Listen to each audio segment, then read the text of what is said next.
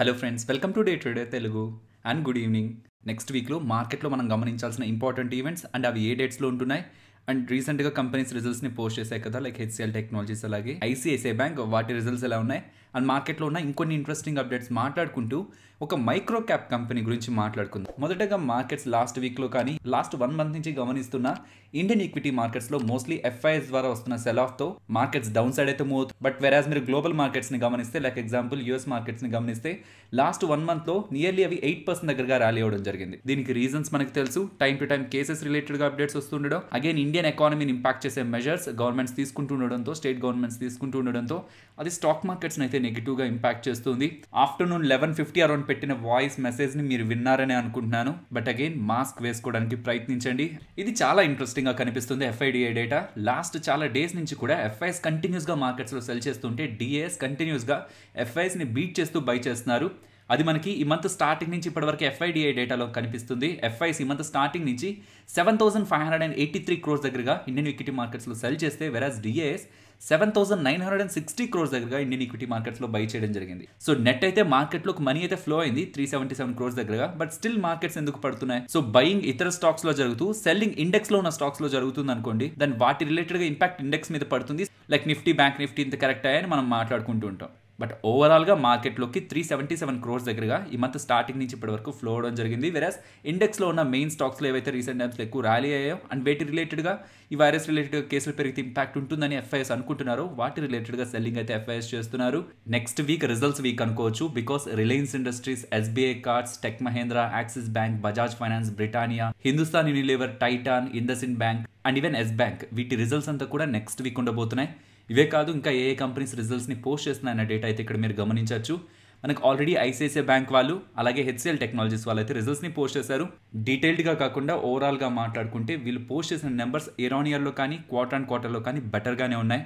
Specially వీళ్ళ deposits and loan growth double డిజిట్లో అయితే కనిపిస్తుంది. వీళ్ళ domestic loans eighteen percent year on ఇయర్తో grow అయితే అందులో retail loans twenty percent year on ఇయర్లో గ్రో అయ్యాయని చెప్తున్నారు. అండ్ ఈవెన్ వీళ్ళ నాన్ పర్ఫార్మింగ్ అసెట్స్లో కూడా అసెట్ క్వాలిటీలో కూడా ఇంప్రూవ్మెంట్ అయితే కనిపించింది. Nearly net non performing assets one point one four percent దగ్గరగా డౌన్ అవడం జరిగింది. అండ్ వీళ్ళు డివిడెండ్ని ప్రకటించారు టూ రూపీస్ పర్ షేర్ ఓవరాల్గా రిజల్ట్స్ పాజిటివ్గా ఉన్నాయి. ఆ రిజల్ట్స్తో పాటు రీసెంట్గా పోస్ట్ చేసిన ఇతర ఐటీ కంపెనీ రిజల్ట్స్ని కూడా ఇమేజ్లో అయితే ఉంచుతున్నాను. సో వీళ్ళ రిజల్ట్స్ ఎలా ఉన్నాయంటే పోస్ట్ చేసిన రిజల్ట్స్ ఎక్స్పెక్టేషన్స్ కంటే బిలో ఉన్నాయి. కాకపోతే వీళ్ళు రీసెంట్ టైమ్స్లో గెలుచుకున్న డీల్స్ అండ్ వీళ్ళ ఆర్డర్ బుక్ ఎక్స్పెక్టెడ్ కంటే బెటర్గా ఉంది. లైక్ ప్రెసెంట్ ఇప్పుడు నేను నెగిటివ్ నెంబర్స్ని పోస్ట్ చేస్తూ నేను కొన్ని డీల్స్ని గెలుచుకున్నాను. తద్వారా వచ్చే రెవెన్యూస్ ఫ్యూచర్లో వచ్చే రిజల్ట్స్ని పాజిటివ్గా ఇంపాక్ట్ చేస్తాయని ఒకవేళ బయటకు చెప్పాను అనుకోండి సో అది ఓవరాల్ నెగిటివ్ ఇంపాక్ట్ని తగ్గిస్తుంది కదా. సో హెచ్సిఎల్ టెక్నాలజీస్ వాళ్ళు పోస్ట్ చేసిన ప్రెసెంట్ రిజల్ట్స్ అయితే బిలో ఎక్స్పెక్టేషన్సే బట్ వీళ్ళ స్ట్రాంగ్ ఆర్డర్ బుక్ అనేది రిజల్ట్స్ని కొంత స్టేబుల్ సైడ్ అయితే తీసుకువెళ్తుంది.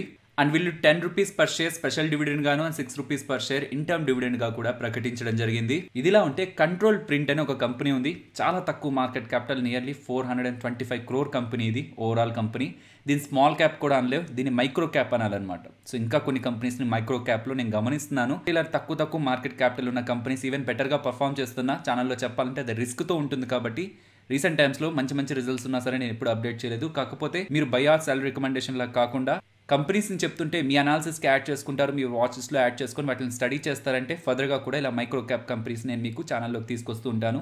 As of no control print. So వీళ్ళ లాస్ట్ ఫోర్ క్వార్టర్స్ నుంచి మీరు డేటాను కానీ గమనిస్తే వీళ్ళ రిజల్ట్స్ డేటాను గమనిస్తే సేల్స్లో మీకు ఇంప్రూవ్మెంట్ కనిపిస్తూ ఉంటుంది వీళ్ళ ప్రాఫిట్లోనూ ఇంప్రూవ్మెంట్ కనిపిస్తూ ఉంటుంది. అండ్ ఈవెన్ వీళ్ళ క్యాష్ ఫ్లోస్లో కూడా మనకి ఇంప్రూవ్మెంట్ ఆపరేషన్స్ నుంచి జనరేట్ చేసిన క్యాష్ ఫ్లోస్లో కూడా మనకి ఇంప్రూవ్మెంట్ కనిపిస్తూ ఉంటుంది. డిసెంబర్ టూ థౌసండ్ ట్వంటీ ఆ పాయింట్ ఆఫ్ టైంలో ఎఫ్ఐఎస్ వన్ పర్సెంట్ దగ్గరగా వాటాన్ని హోల్డ్ చేస్తుంటే ఇప్పుడు seven point five six percent దగ్గరగా వాటాన్ని హోల్డ్ చేస్తున్నారు. సో సడన్ జంప్ కనిపించింది మనకి ఎఫ్ఐఎస్ దగ్గర నుంచి. బట్ లాస్ట్ సిక్స్ మంత్స్లో కంపెనీ షేర్ ప్రైస్లో పెద్ద గ్రోత్ అయితే లేదనమాట సో ఎఫ్ఐఎస్ ఇన్వెస్ట్ చేశారు కదా అని చెప్పి స్టాక్ ప్రైస్ ఎక్కడికో వెళ్ళిపోలేదు.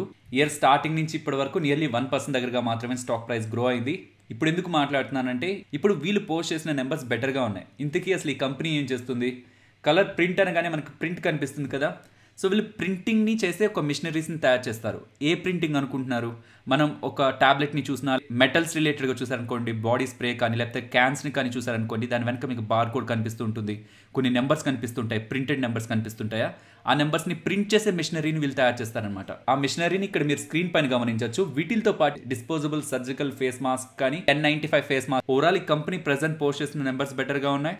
కానీ ఇలాంటి మైక్రో క్యాప్ కంపెనీస్ రిలేటెడ్గా జాగ్రత్తగా స్టడీ చేసి బికాస్ ఇవి రిటర్న్స్ ఇస్తే కూడా అలానే ఇస్తాయి రిస్క్ కూడా అలానే ఉంటుంది కాబట్టి జాగ్రత్తగా స్టడీ చేసిన తర్వాత మాత్రమే ఇన్వెస్ట్మెంట్ చేయాల్సి ఉంటుంది కాబట్టి ఇలా వీడియోలో చెప్పిన వెంటనే మీరు ఎటువంటి యాక్టివిటీ తీసుకోవద్దు. నేనైనా కాదు ఎవరు చెప్తున్నా మార్కెట్ క్యాప్ తక్కువగా ఉన్న కంపెనీస్లో మీ స్టడీ కూడా మీరు చేసి మీకు బెటర్ అనిపిస్తేనే ఎటువంటి యాక్టివిటీ అయినా తీసుకోండి.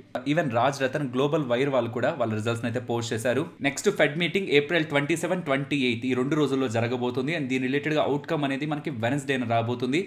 సో ఫెడ్ అంటే మనందరికీ తెలుసు ఇండియాలో ఆర్బీఐ లాగా యూఎస్లో ఫెడరల్ రిజర్వ్ అలాగా వాళ్ళు తీసుకునే డెసిషన్స్ కూడా ఎంటైర్ గ్లోబల్ స్టాక్ మార్కెట్స్ని ఇంపాక్ట్ చేస్తుంటాయి కాబట్టి వాళ్ళు తీసుకునే డెసిషన్స్ ఏంటి అండ్ వాళ్ళ ఎకానమీ రిలేటెడ్గా ఎలాంటి పాజిటివ్ ఆర్ నెగిటివ్ అవుట్లుక్ ఇవ్వబోతున్నారు అనేది కూడా ఇండియన్ అనే కాదు గ్లోబల్ మార్కెట్స్ని కూడా ఇంపాక్ట్ చేస్తుంది. నెక్స్ట్ పవర్ గ్రిడ్ వాళ్ళ దగ్గర నుంచి మనకి ఇన్విట్ ఇన్ఫ్రాస్ట్రక్చర్ ఇన్వెస్ట్మెంట్ ట్రస్ట్ రిలేటెడ్గా కూడా ఒక ఐపీఓ మార్కెట్లోకి అయితే రాబోతుంది. ఇది ఏప్రిల్ ట్వంటీ నైన్త్ ఓపెన్ అవుతుంది మే థర్డ్న క్లోజ్ అవుతుంది. ఆర్ఈఐటీ డే ట్రేడెడ్ తెలుగు అని మీరు సెర్చ్ చేశారంటే మీకు నేను ప్రీవియస్గా బ్రూక్ఫెల్ రిలేటెడ్గా ఆర్ఈఐటీ ఐపీఓ చేశాను. సో ఆ వీడియోని చూడండి మీకు ఇంకా క్లారిటీ వస్తుంది. ఈవెన్ ఇన్విట్ రిలేటెడ్గా కానీ ఆర్ఈఐటీ రిలేటెడ్గా కానీ కాన్సెప్ట్ సిమిలర్గానే ఉంటుంది. నెక్స్ట్ వీక్లో ఏ కంపెనీస్ రిలేటెడ్గా ఎలాంటి కార్పొరేట్ యాక్షన్ జరగబోతుంది అండ్ వాటి రిలేటెడ్గా ఉన్న ఎక్స్ డేట్ కూడా ఇప్పుడు మీకు స్క్రీన్ ముందైతే కనిపిస్తుంది. నెక్స్ట్ వైభవ్ గ్లోబల్ గురించి మాట్లాడుకోవాలి. వీళ్ళ బిజినెస్ ఏంటి? వీళ్ళు ఫ్యాషన్ జ్యువెలరీని తయారు చేస్తూ ఉంటారు. వీటి రిలేటెడ్గా చేసే సేల్స్ ద్వారా వీళ్ళు సెవెంటీ ఎయిట్ పర్సెంట్ దగ్గరగా రెవెన్యూస్ని సంపాదిస్తుంటే వీళ్ళు ఎలక్ట్రానిక్స్ రిలేటెడ్గా రీటైలర్ కూడా అనమాట రీటైల్ అలాగే హోల్సేలర్ కూడా. సో వాటి రిలేటెడ్గా నియర్లీ ట్వంటీ టూ పర్సెంట్ దగ్గరగా వీళ్ళు రెవెన్యూస్ని అయితే సంపాదిస్తున్నారు. సో మెజారిటీ వీళ్ళ బిజినెస్ అంతా కూడా జ్యువెలరీ సెగ్మెంట్ నుంచే ఉంటుంది. నిన్న కంపెనీ బీఎస్సీకి ఒక అప్డేట్ అయితే చేయడం జరిగింది. వీళ్ళు స్టాక్ స్ప్లిట్ అయితే అనౌన్స్ చేస్తున్నారు. మీన్స్ మీనింగ్ ఎలా అర్థం చేసుకోవాలి? వీళ్ళు చెప్తున్న రికార్డ్ డేట్ మే టెన్త్ అనమాట మీన్స్ మే టెన్త్కి ఎవరి డీమ్యాట్ అకౌంట్స్లో అయితే ఈ షేర్స్ ఉంటాయో? సో కొన్న వాళ్ళు కాదు. ఆ రోజు కొన్న వాళ్ళు కాదు. ఆ రోజు ముందు రోజు కొన్న వాళ్ళు కాదు.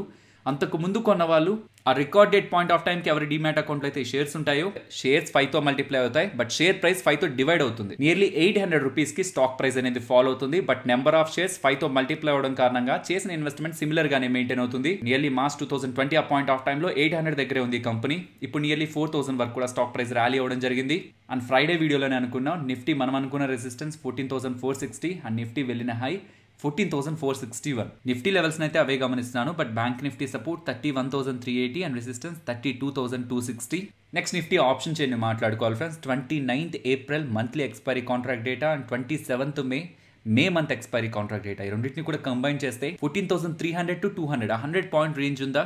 సో హండ్రెడ్ పాయింట్ రేంజ్ కంటే బిలో వెళ్ళదని ఎక్కువగా పుట్ రైటర్స్ అయితే బిలీవ్ చేస్తున్నారు. సో అదొక ఇంపార్టెంట్ సపోర్ట్గా అయితే కనిపిస్తుంది. బట్ ఒకవేళ ఈ లెవెల్ బ్రేక్ అయితే స్ట్రైట్గా మనకి ఫోర్టీన్ థౌసండ్ ఇంపార్టెంట్ అనమాట బికాస్ అదొక సైకలాజికల్ లెవెల్ కాబట్టి ఇక్కడ కూడా గమనిస్తే మే మంత్లో ఇంకెక్కడ కూడా మనకు అంత డేటా కనిపించదు. Twenty six thousand five thirty eight దగ్గరగా కాంట్రాక్ట్స్ అయితే ఇక్కడ బిల్డ్ అవుతున్నాయి. ఇఫ్ ఈ లెవెల్ కూడా బ్రేక్ అయితే because fourteen thousand two hundred ఈసారి మార్కెట్ ఫాల్ అయితే ఇంకా ఎక్కువ సెల్లింగ్ ఉంటుందని నేను ఎక్స్పెక్ట్ చేస్తున్నాను. Below fourteen thousand thirteen thousand eight hundred అనేది ఒక ఇంపార్టెంట్ లెవెల్ అవుతుంది. అండ్ ప్రెసెంట్ ఉన్న లెవెల్స్ నుంచి టాప్ సైడ్కి మూవ్ అయితే fourteen thousand five hundred important psychological లెవెల్గా గమనిస్తున్నా.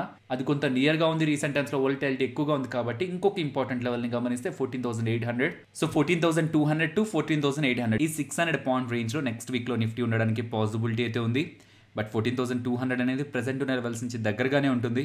ఆ లెవెల్ బ్రేక్ అవ్వదనే పుట్ రైటర్స్ కూడా బిలీవ్ చేస్తున్నారు. బట్ ఇఫ్ ఇన్ కేస్ అది బ్రేక్ అయితే next fourteen thousand next thirteen thousand eight hundred ఈ లెవెల్స్ మనకి ఇంపార్టెంట్ లెవెల్స్గా ఆప్షన్ చైన్లో డేటా ప్రకారం అయితే కనిపిస్తున్నాయి.